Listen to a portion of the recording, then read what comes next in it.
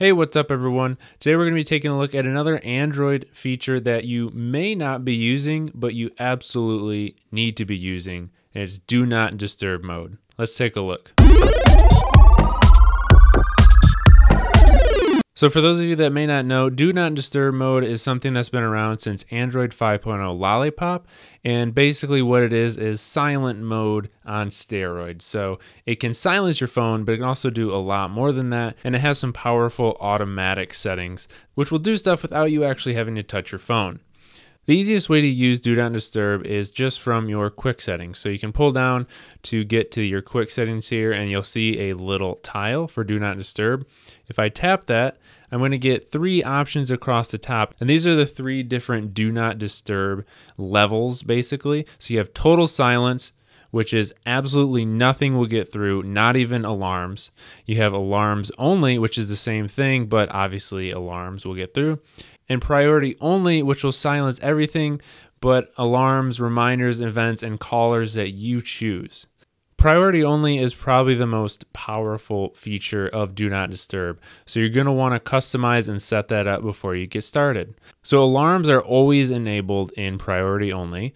You can also toggle on reminders, events, messages from anyone, contacts only, or from starred contacts only, or none. To star contacts, you're going to want to go into the contacts app. Calls are the same deal as messages.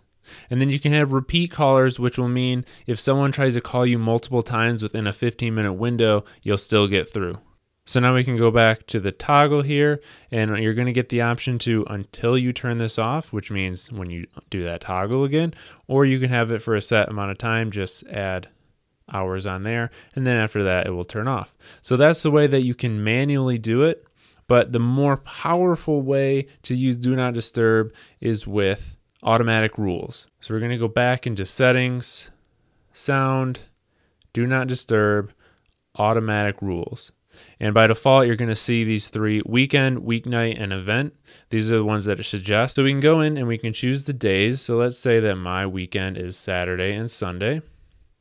And I'm going to have it turn on at 11:30 p.m. every night during the weekend, and I'm going to have it turn off at oh 10 a.m. I'm going to sleep in.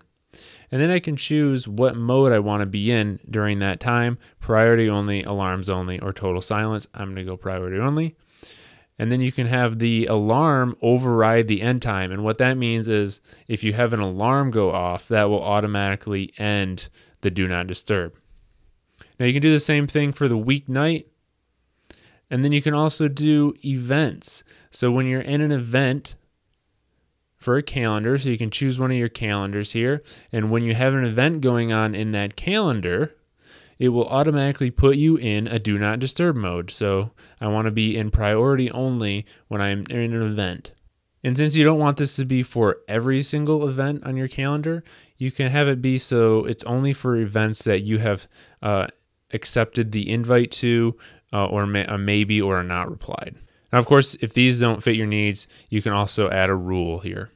And that's basically all there is to it. Do Not Disturb is incredibly powerful ally in the war against notifications, which if you have a smartphone, you know that there's a lot of notifications and it can be a pain to go into every single app sometimes and customize how you want it. So Do Not Disturb allows you to control notifications in one fell swoop and it's probably one of the best features in Android. So make sure you're using it. For a full step by step, make sure to check the description for a link to Phandroid.com.